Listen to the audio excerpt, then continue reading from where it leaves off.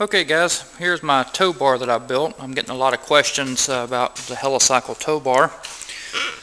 It's based on the NW Big Wheel um, tow bar that I have from my R22. It's a very simple design. I've actually simplified it even more. Cost approximately $100 to, to build this tow bar for the Helicycle. As we all know that uh, the Helicycle does not have anything underneath to uh, hook up to.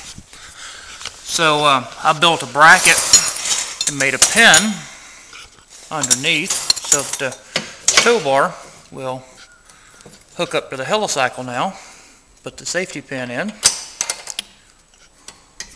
Need to make that string a little longer. Put the safety pin in.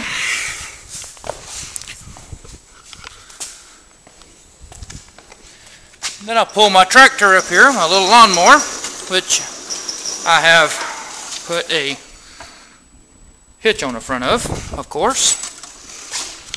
And I simply pick this thing up.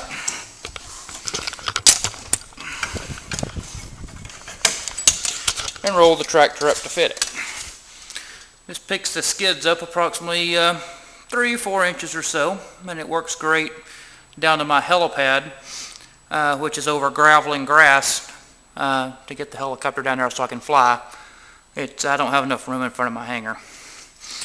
But to unhook it, as you pick it up, the way the geometry is, it, uh, it allows you to pick it up without any, without any effort at all.